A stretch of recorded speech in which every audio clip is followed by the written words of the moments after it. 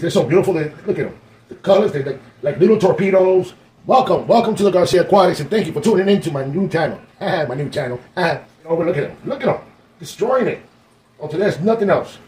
I love it. Hey guys, welcome to the Garcia Aquatics. Thank you for tuning in to my channel. And also, let me just start it off like this. I can't believe I just forgot what I was going to say. All right. It's so beautiful.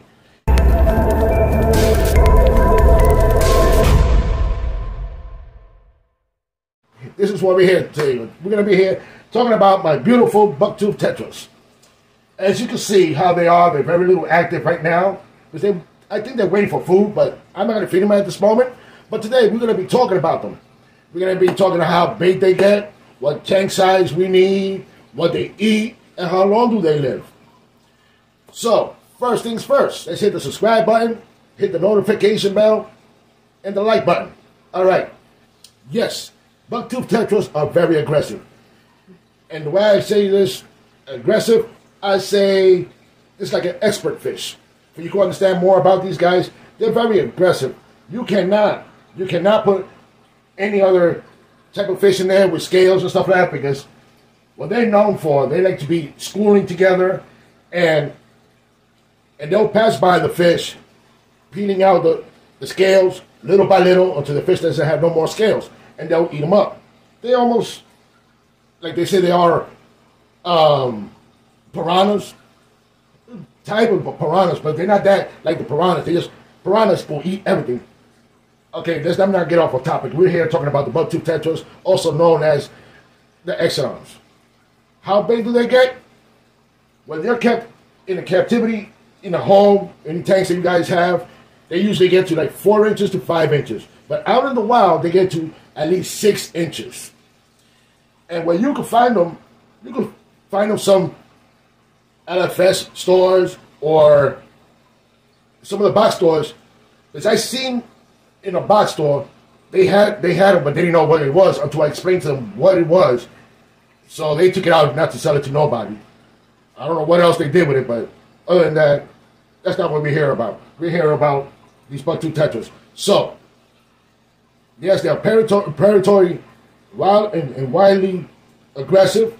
They're schooling fish, and they're also from um, from the, the, the native Amazon basin, Guyana.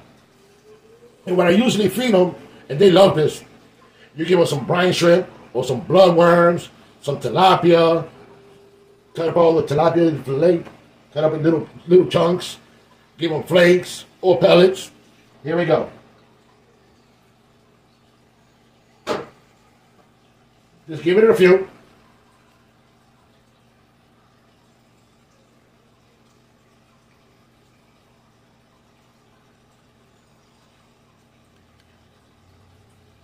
They're working like a team. Look at that.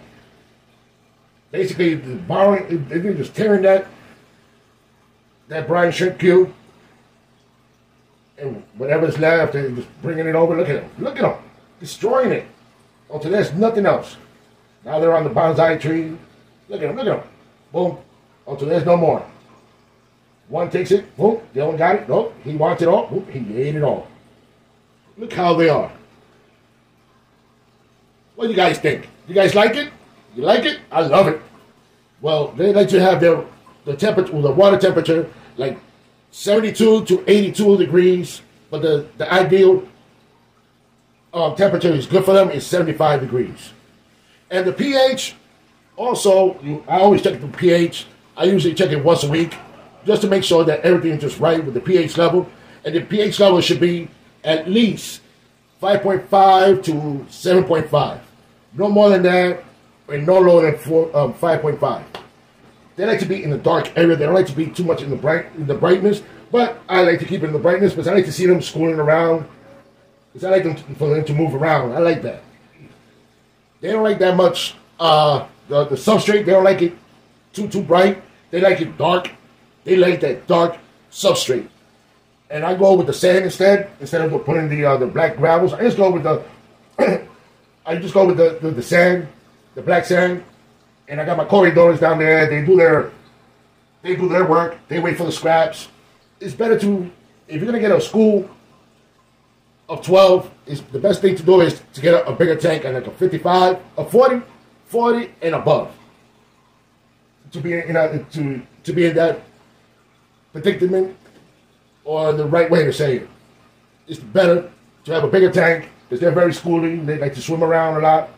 And if you get less than 12, also, if you get less than 12, they won't be that schooling. They, they won't be, uh, they'll start looking for the weak ones and start killing each other, and you don't want that.